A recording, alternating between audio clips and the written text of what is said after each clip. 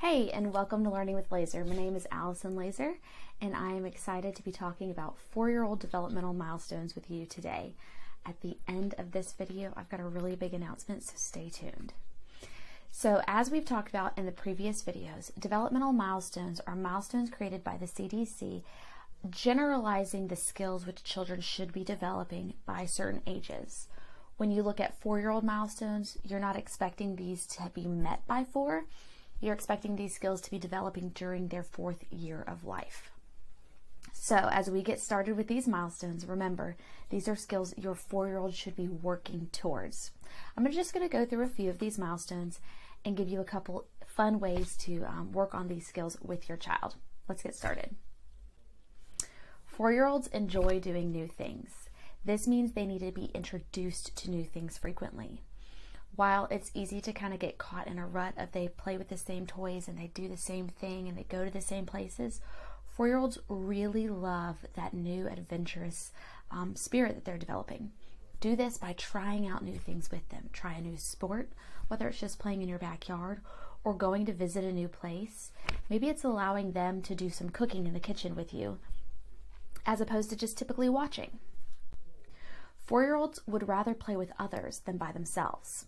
So at this stage in their development, they're really understanding that play and that playing together as opposed to parallel play where they're playing near another person and maybe in a similar way. But this time they really want to interact. In order to foster this, you may be playing more than you were playing with your child in the past. They may really enjoy wanting their older siblings to play with them or their younger siblings, even if those siblings aren't as willing. In this case, foster playdates for them, set up playdates with friends of similar ages, or be intentional with playing with them. Set a time where this is the time where I'm going to sit and play with you today. Four year olds are still struggling to tell the difference between real and make believe. Now, this can be really tricky, but I recently was talking to a friend who said they've been playing with puppets a lot. And the puppet is a dog, and Kids know that dogs say woof woof, but when the puppet's on their hand, it's not saying woof woof unless they're saying it. So through this little bit of play with puppets, they're able to get the idea of real and make believe. This is not a real puppy. It's a pretend puppy that I can make say woof woof. Another way to do this is as you're watching TV shows and it's got a dragon and a fairy in it, talk to them. Are these things real or are these make believe? Make believe means it's not real. We're never going to see it out in public but it is something that we enjoy watching. Have conversations about things that are real and things that are make believe. Four year olds like to talk about their interests. Their verbalization, their communication skills are really coming to um, a heightened perspective. You're going to start seeing a lot more conversation. And the best way to foster this conversation is to ask about things they like. What's your favorite color? What did you like today at school? What was your favorite part of the movie? Ask questions that allow them to talk more about the things that they are interested in. Four year olds are able to name some colors and numbers. Now, this doesn't mean that they're going to consistently be able to look at number three and number seven and know that it's three and seven, but they're going to get the idea that these are numbers and they're going to start connecting those numbers with the with the counting that they've been practicing. The best way to do this is by providing written numbers out for them. Have numbers visible, whether it's a number puzzle or a game that's got little number um, magnets with it. Colors, colors are really simple. Every time you see colors, talk about colors with your kid. Four year olds understand the idea of counting. Now, as a former pre K teacher, it is expected by the end of 4K that children are counting pretty much to 20 and able to point and count. However, developmentally, that's a lot for them. So instead, we want them to understand the idea of counting. We want them to look at objects. I have this fun poppet. And be able to go one, two, three, four, five, seven, eight, nine, ten.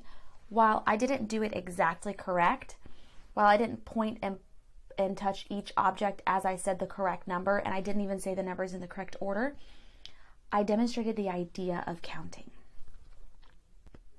Four year olds understand the idea of same and different. Now, this is an abstract idea. This idea takes a lot of conversation for your four year old to actually understand. So, have these conversations. Oh, you've got two socks. They're both green. Are they the same? Yes, yes, they are the same. Oh, you grabbed a light green sock and a dark green sock. They are both socks. They are different socks. They are different colored socks. Have conversations about things that you're seeing, whether you're at the grocery store or in a restaurant, whether you're just looking around your house or talking about a show, or maybe even heights if people in your family. Oh, your little brother, is he the same as you? No, he is smaller than you. You are different. Or maybe your friend comes over to play. Oh, let's stand together. Look at each other in the mirror. Are you guys the same? Yes, you are the same. Way to go. Four year olds are able to use scissors. Scissors are scary. We've seen the bad hair jobs, we've seen the unfortunately hemmed clothing because scissors are scary. But the only way for four year olds to get strong in using scissors is to put them in their hands. So, as much as it scares you, put scissors in your kids' hands. I always start off with non bladed scissors. These are bladed, but there are plastic scissors and give them Play Doh because it's not something they can really ruin. And those bladed scissors, those non-bladed scissors aren't going to cut much, but they will cut Play-Doh. And then slowly introduce other types of scissors as well. Make scissors a tool, not a toy. Have a designated time and place to use scissors. Make scissors something they have to ask for and not something they just have easy access to. That way they learn to respect scissors and you'll see a little bit less of those wacky hair jobs. Four-year-olds can copy capital letters they are able to look at the capital A and right next to it, try to copy it. Now, they may not know what that letter is yet, but they're able to draw lines intentionally and focus on the different letters that they're writing and the shapes that make those letters. Do this very simply. Use the old um, magnetic boards, use whiteboards, have letters out and have them make them with Play Doh or write them in sand. Practices just by, by having them copy shapes or tracing different pictures. All of these fine motor skills will help their hands, which will help them when it actually comes to writing their letters. Four year olds can tell you what is going to happen next in a book. That means that you are reading frequently with your four year old. You are reading stories repeatedly, over and over and over again until you are sick of them. But the best part of this is you may get sick of that story, but if you've read it enough times, you can look at your child and say, hey, hey, hey, I'm not going to read this book today. You're going to read it to me. But I don't know how to read. Oh, that's okay. You know the story. Open the book and tell them the first page without reading the words. Cinderella was cleaning the house. Then turn the page and wait for them to tell you what's happening in the pictures. Since they've read the story numerous times, they know the premise of the story. They are able to tell you the story by looking at the pictures. Then continue this by asking them about the story later without the pictures to refer to. This, this gets them sequencing different parts of stories and remembering first, then, next, and last in a story. Lastly, four year olds can stand and hop on one foot for two seconds. As a former pre K teacher, I can say that developmentally, this is normal.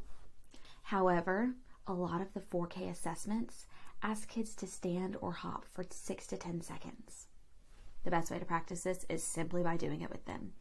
If you're waiting in the grocery store line, ask them to hold on to the cart and pick one leg up. They're still holding on to that carpet. They're getting the idea of picking that leg up and balancing their bodies.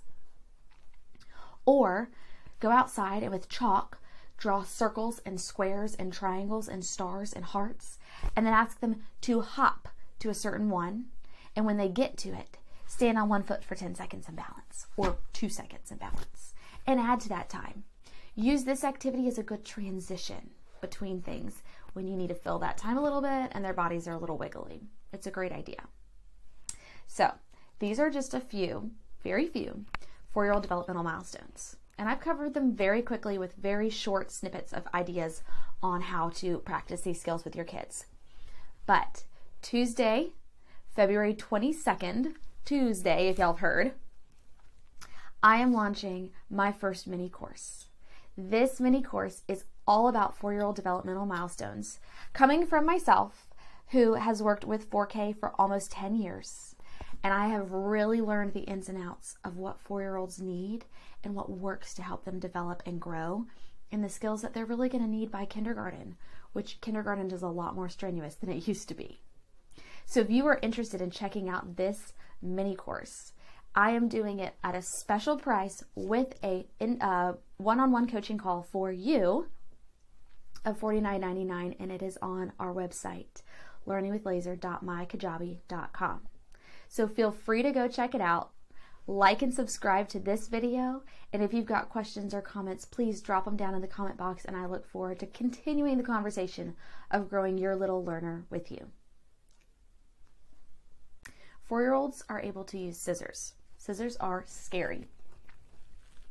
We've seen the bad hair jobs, we've seen the unfortunately hemmed clothing because scissors are scary. But the only way for four year olds to get strong in using scissors is to put them in their hands. So, as much as it scares you, put scissors in your kids' hands. I always start off with non bladed scissors. These are bladed, but there are plastic scissors and give them Play Doh because it's not something they can really ruin. And those bladed scissors, those non bladed scissors aren't going to cut much, but they will cut Play Doh. And then slowly introduce other types of scissors as well. Make scissors a tool, not a toy. Have a designated time and place to use scissors. Make scissors something they have to ask for and not something they just have easy access to. That way they learn to respect scissors and you'll see a little bit less of those wacky hair jobs. Four year olds can copy capital letters. They are able to look at the capital A and right next to it, try to copy it. Now they may not know what that letter is yet, but they're able to draw lines intentionally and focus on the different letters that they're writing and the shapes that make those letters. Do this very simply. Use the old um, magnetic boards, use whiteboards, have letters out and have them make them with Play Doh or write them in sand. Practice this just by, by having them copy shapes or tracing different pictures. All of these fine motor skills will help their hands, which will help them when it actually comes to writing their letters. Four year olds can tell you what is going to happen next in a book. That means that you are reading frequently with your four year old. You are reading stories repeatedly, over and over and over again until you are sick of them. But the best part of this is you may get sick of that story, but if you've read it enough times, you can look at your child and say, hey, hey, hey, I'm not going to read this book today. You're going to read it to me. But I don't know how to read. Oh, that's okay. You know the story. Open the book and tell them the first page without reading the words. Cinderella was cleaning the house. Then turn the page and wait for them to tell you what's happening in the pictures. Since they've read the story numerous times, they know the premise of the story. They are able to tell you the story by looking at the pictures. Then continue this by asking them about the story later without the pictures to refer to. This, this gets them sequencing different parts of stories and remembering first, then, next, and last in a story. Lastly, four year olds can stand and hop on one foot for two seconds. As a former pre K teacher, I can say that developmentally, this is normal. However, a lot of the 4K assessments ask kids to stand or hop for six to 10 seconds. The best way to practice this is simply by doing it with them. If you're waiting in the grocery store line, ask them to hold on to the cart and pick one leg up. They're still holding on to that cart, but they're getting the idea of picking that leg up and balancing their bodies. Or go outside and with chalk, draw circles and squares and triangles and stars and hearts, and then ask them to hop to a certain one. And when they get to it, stand on one foot for 10 seconds in balance or two seconds in balance and add to that time. Use this activity as a good transition between things when you need to fill that time a little bit and their bodies are a little wiggly. It's a great idea. So, these are just a few, very few, four year old developmental milestones. And I've covered them very quickly with very short snippets of ideas on how to practice these skills with your kids. But Tuesday, February 22nd, Tuesday, if y'all have heard, I am launching my first mini course. This mini course is all about four year old developmental milestones, coming from myself, who has worked with 4K for almost 10 years. And I have really learned the ins and outs of what four year olds need and what works to help them develop and grow and the skills that they're really going to need by kindergarten, which kindergarten is a lot more strenuous than it used to be. So if you are interested in checking out this mini course, I am doing it at a special price with a uh, one-on-one coaching call for you of $49.99 and it is on our website learningwithlazor.mykajabi.com. So feel free to go check it out. Like and subscribe to this video. And if you've got questions or comments, please drop them down in the comment box. And I look forward to continuing the conversation of growing your little learner with you.